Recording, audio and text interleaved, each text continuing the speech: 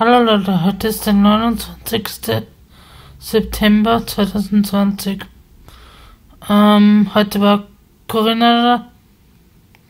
Wir waren ein paar Mal draußen, weil sie rauchen war und haben Kaffee getrunken, getratscht und, und Spaß gehabt.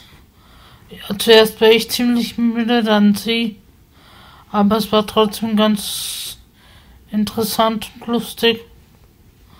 Ähm, es gibt nicht so viel Neues im Moment. Am Freitag habe ich ein Telefongespräch mit Kerstin. Das habe ich heute ausgemacht, weil wir ja jetzt wieder nur Telefonkonferenzen haben. Am 13. Oktober bin ich bei Christoph.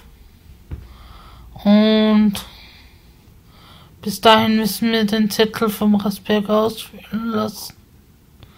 Ich hatte Katheterwechsel, aber der war ganz okay. Ähm, hat nicht so weh getan. Aber es geht.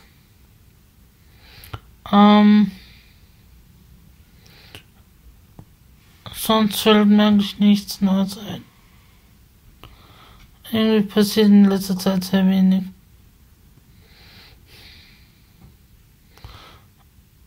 Na gut, dann diesmal ein ganz kurzes Video von mir. Gute Nacht. Hab euch lieb. Ciao. Eure Ines.